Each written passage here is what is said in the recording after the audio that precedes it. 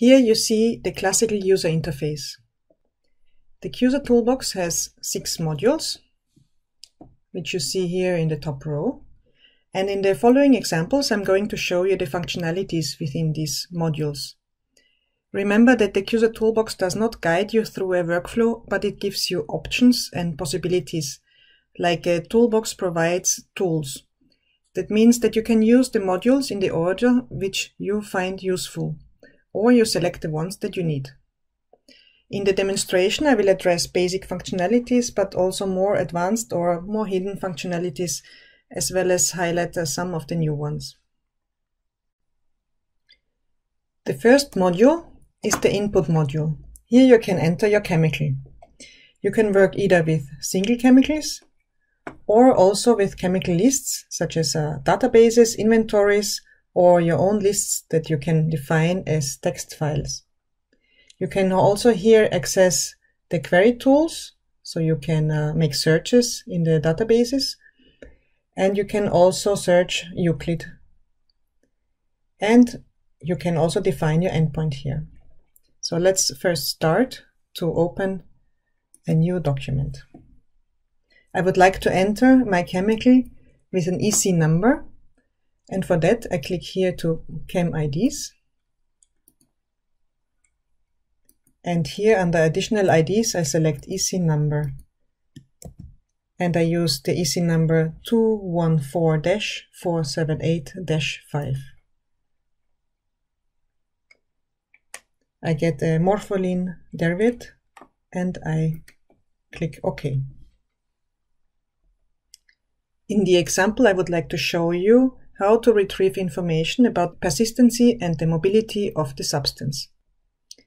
As a first step, I would like to see which kind of information there is for the substance in the databases within the toolbox. So I go to the module Data Here you can select from which databases the information should be retrieved. In this case is selected ECHA-REACH. So let's gather data. Now it asks me here if I would like to get the data from all endpoints or only from specific. Because I have only one substance, I select all endpoints. If you have number of substances, it may take a while, so you may want to restrict your search for certain endpoints. The toolbox tells me that I, I have here one chemical and 96 data points. I'm interested in persistency, therefore I open up here the environment, fate and transport uh, tree hierarchy and I see there is uh, some data under biodegradation. I can here open up further and I see here that there is screening data available. When you look at the cells, you can see here a small green square. You can open here to see more data behind. So the little green square means there is more data behind. Now the organization here may not be the most convenient for you. So it starts here with uh, percent degradation, CO2 evolution, DOC, and so on. Here is a little blue square. That means that you can change the dynamic part of the tree hierarchy with uh, going here with the mouse over this part and press the right mouse button. And here opens up another pop-up window where you can select Set Tree Hierarchy. Here I can choose, for example, to have the test guideline up front, so I move it in the first place. You can see here now that the tree hierarchy was organized according to the guideline. And I see here I have a OECD 302B test and it shows me 20% degradation. The 302B guideline study is an inherent test and this low percentage indicates potential persistency of the substance. if you want to know more about the data behind, you double click into the cell and you can access the metadata. The information is organized in an alphabetic order. So here you have information about the, for example, the year at the far right side and also the link to the ECHA dissemination website. The nice thing with this link here is if you double click, it gets you directly to the ECHA dissemination website. You have first to confirm the terms. And here you see the endpoint study record. Now let's go back to the toolbox.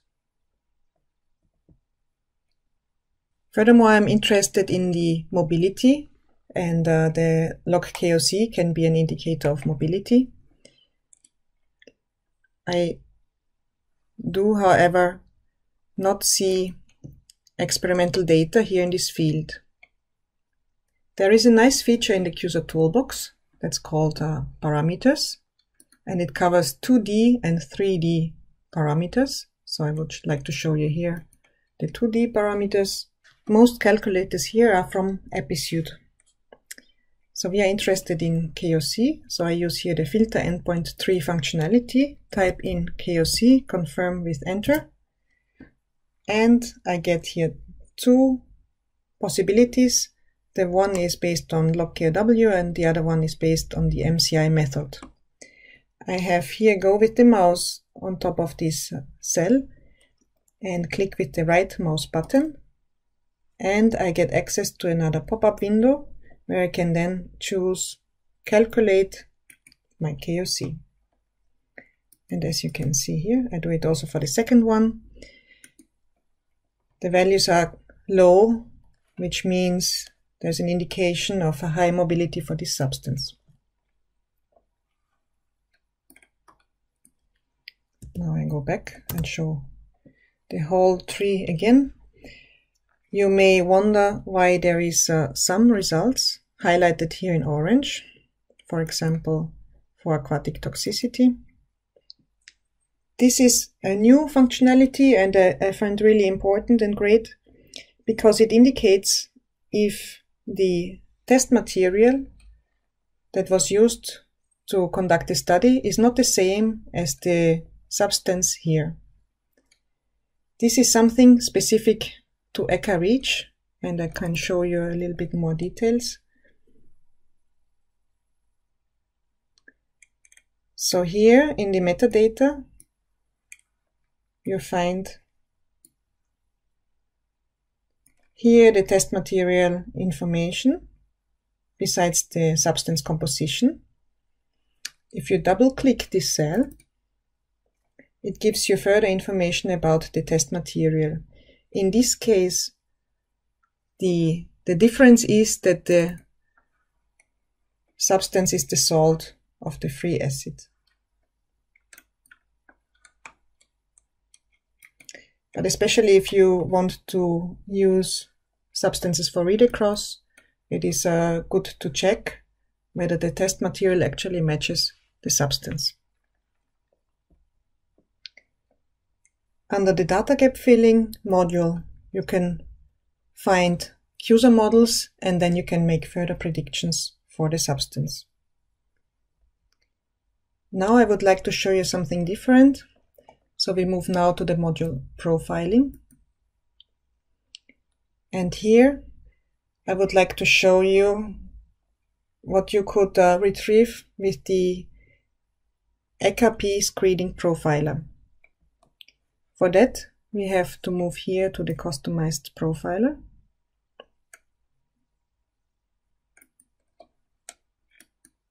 I select the P profiler and click apply. I make the cell bigger to see all the result. And what it says here is that the substance screens potentially P or VP based on experimental data. It tells me also that uh, BioVin predicts potentially P or VP. It says here also no QSA predictions can be done with Vega and Danish QSA-DB. This is because the, the Vega uh, module has not been updated yet to the latest QSA Toolbox version, which is uh, 4.5, which you can see here. And uh, the profiler would need still to be updated. And we are thinking at the moment to have as an interim solution to remove the backup so that the, the profiler work properly again. So for the experimental data, it does work. And I would like to show you how you can uh, learn on which basis this profiler gave an alert. So you move here again with the mouse, press the right mouse button, and then it gives you another pop-up window where you can click here either view scheme about, but we are not interested. We would like to know more about the results. So we say explain.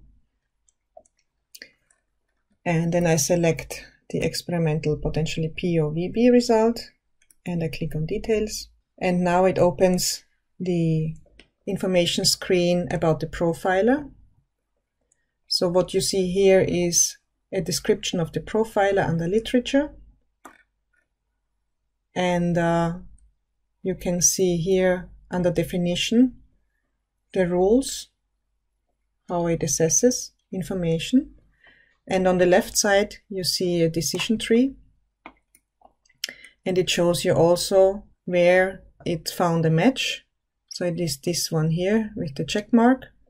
And here in the lower left window, you can see on which basis the alert was given. It's the 20.6% degradation. And this is the value that came from the ECHA-REACH database. You can close the window here. So this is the, the example that I wanted to show you regarding persistency and mobility. Now I would like to move to the next example. For that we go again to the input and create a new document. In the next example, I would like to show you how you can find analogs for the to assess the endpoint mutagenicity. I enter the substance with the CAS 18463 90-6. The first thing that you may want to do is to define the endpoint. So I choose here human health hazards, genetic toxicity, in vitro, then bacterial reverse mutation assay, gene mutation, and as a test organism I select Salmonella. Okay.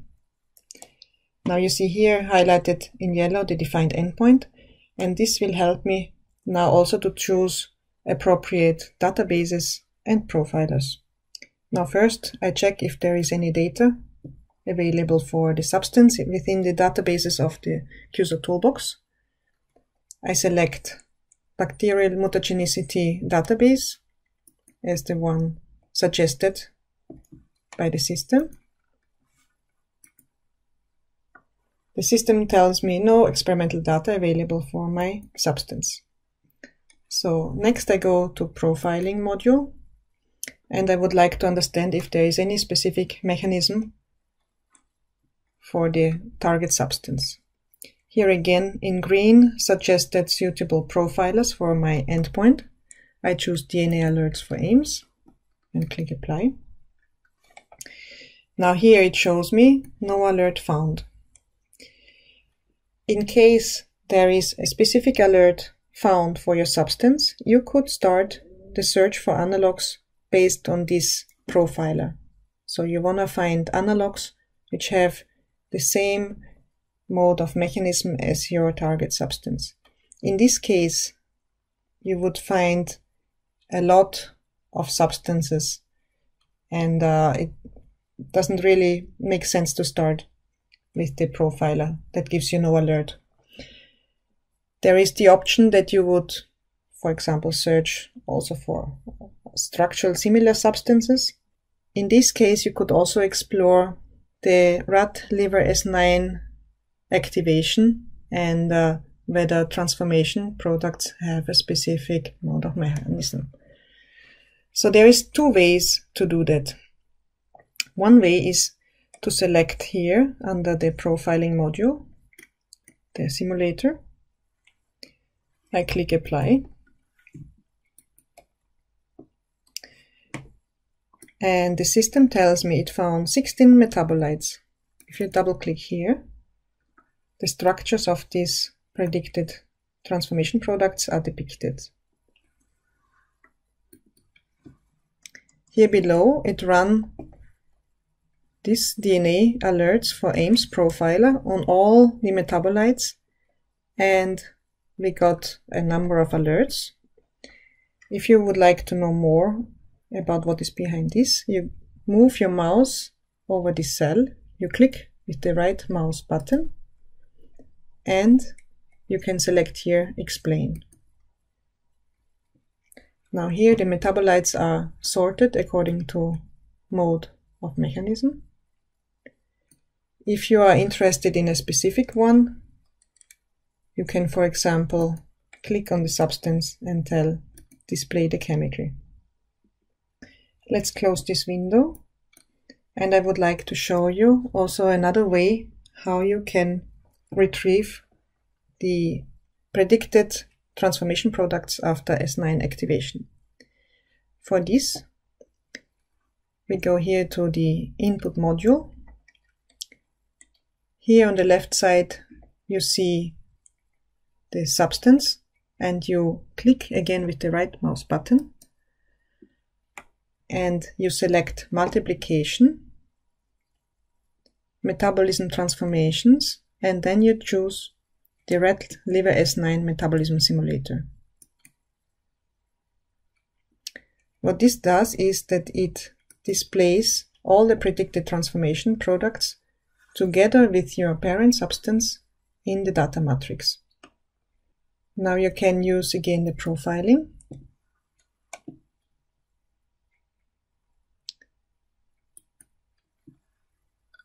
I choose here the DNA alerts for Ames. And here now you see the parent has no alerts, but the predicted transformation products have specific types of alerts. If you want to understand what is behind a specific alert, for example here nucleophilic attack, you move your mouse here in the cell and you click with the right mouse button and you click explain. Here I choose the alert and go to details and it opens up the, the knowledge base, the, the heart of the CUSA toolbox. There is a, a huge amount of information coded here and also together with the, the literature and background information for the reactions.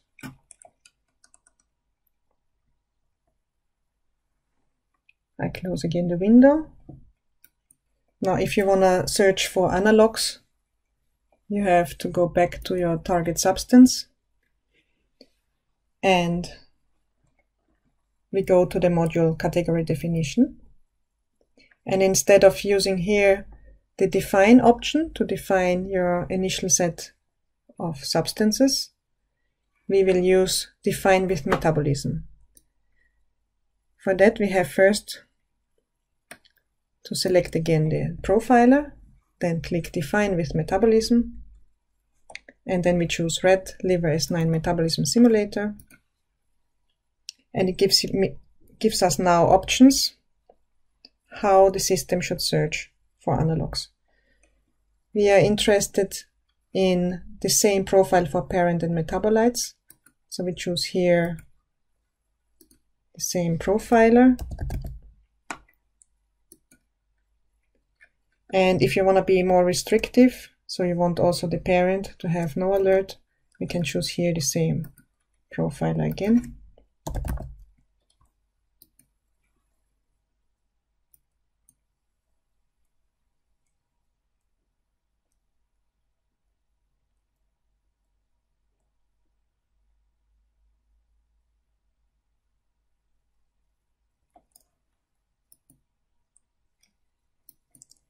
And I have now here a number of chemicals that have a similar mechanistic profile. I can show you by running again the profiler. So here for the parent, no alert found. If I also add here the simulator for the for predicting transformation products together with the profiler, I see here same profile for the target substance and the analogs. Now you want to have the analogs not only mechanistically similar but also structurally similar. And you see here some they look more similar some they look a bit more different. So what you can do is you go again to the category definition module and you filter further the analogs by subcategorization. And here you can choose one of the empiric profilers related to organic functional groups. Let's choose one of the organic functional groups profilers. Here on the right side, you see how your target is identified with the profiler. And on the right lower corner, you see all the functional groups that were identified for the target and for the analogs and highlighted in blue the ones that are different to the target substance. So we remove the different ones and uh, we end up in a small set of substances which are structurally similar and also mechanistically similar in the way that they have S9 activation leading to transformation products with the same mechanistic profile. I have shown you how you can find analogs with the QSAR toolbox that are structurally similar but are also mechanistically similar. Now, if you want to use these analogs to fill a data gap via read across, I recommend that you first of all you explore here what is behind this experimental data and if the experimental data are reliable. And second, you have to make your read across case and the QSAR toolbox can support you with that, but certain information has to come also from the outside. For example, robust study summaries for, for the analogs. And my colleague Andrea Richards will later on in the webinar tell you more about the requirements under REACH.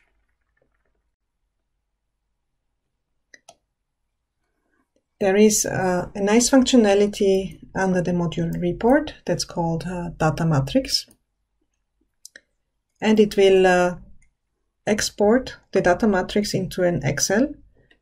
Here you have the option to include or exclude information. And then you click here report and you open the data matrix and it opens the Excel. Here with the information from the data matrix.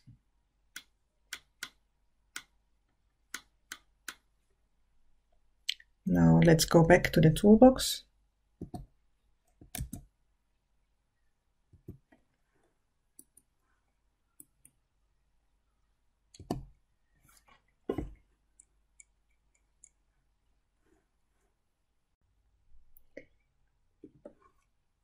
Let's open one more new document. And as a last example, I would like to show you what you can do with the query tool.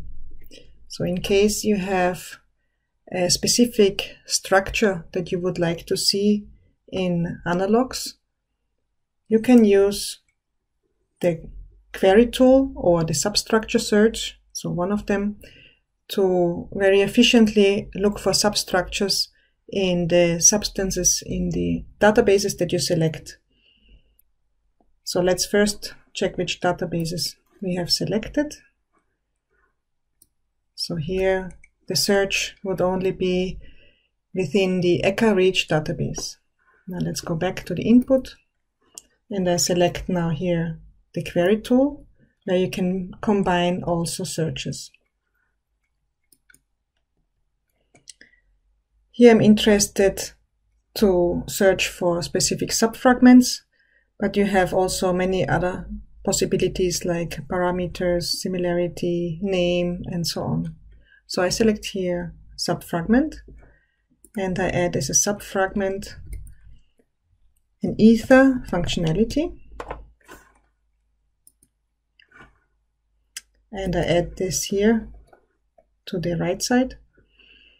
And then I would like to have the substructure also to have a perfluorinated part. So I enter here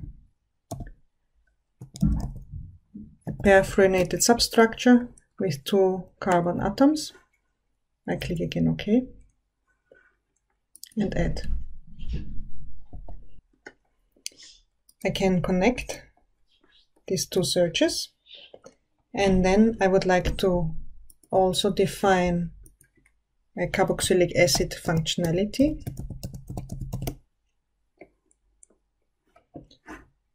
which I don't want to have in the substance. So I can say here not.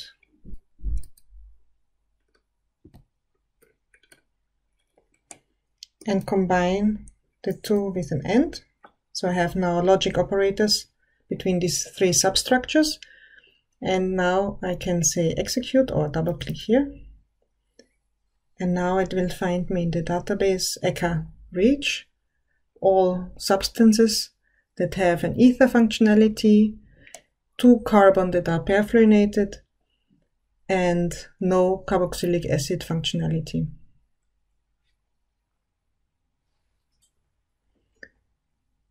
Now I see here 14 chemicals were found and they all having an ether functionality and a perfluorinated part.